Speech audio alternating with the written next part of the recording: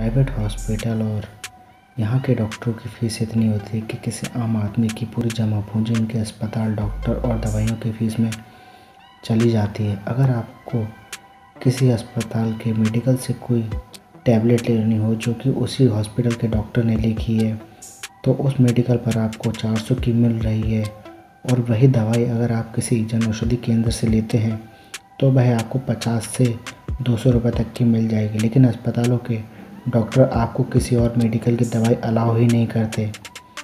इसका एक बहुत बड़ा कारण है, या तो वो मेडिकल उनका होता है या उस मेडिकल से उनको कमीशन आता है।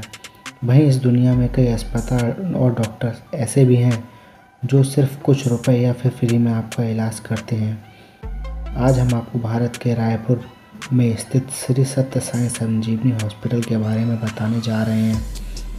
देश का एक ऐसा अस्पताल जिसका दिल सिर्फ़ बच्चों के लिए धड़कता है, यहाँ बच्चों के दिल से संबंधित रोगों का इलाज मुफ़्त होता है। इस अस्पताल की लोकप्रियता केवल हमारे देश में ही नहीं, दुनिया भर से लोग यहाँ इलाज के लिए आते हैं। छत्तीसगढ़ के अटल नगर में नवंबर 2012 में इस अस्पताल को बनाया गया था, जिसमें कोई कैश काउंटर ही नहीं है। इस अस्पताल में इलाज पूरी तरह से मुफ़्त है और इलाज ही नहीं दवाइयाँ भी फ्री मिलती हैं। यहाँ पैसों के लेने देने के लिए कोई इंतज़ाम नहीं है। इस अस्पताल का कोई रजिस्ट्रेशन चार्ज भी नहीं है। साथ ही आपको बताते चले, यह अस्पताल सिर्फ़ बच्चों के लिए है, जो कि दिल की बीमारी से संबंधित है।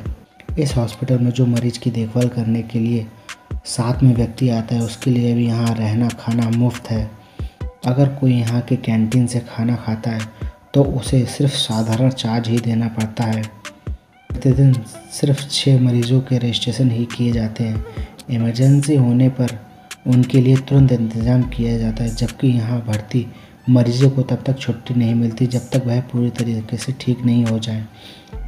दिल में छेद के ऑपरेशन से पहले मरीज़ को अगर किसी और तरह की बीमारी है, जैसे सर्दी, खांसी, जुकाम या खुजली तो पहले उसे ठीक किया जाता है, चाहे इसे ठीक होने में कितने भी दिन क्यों ना लग जाए। अगर आपको हमारा ये वीडियो पसंद आए तो वीडियो को लाइक करें शेयर करें और सब्सक्राइब करें हमारे चैनल को, ताकि आपको ऐसी अमेजिंग वीडियोस देखने को मिलती रहें।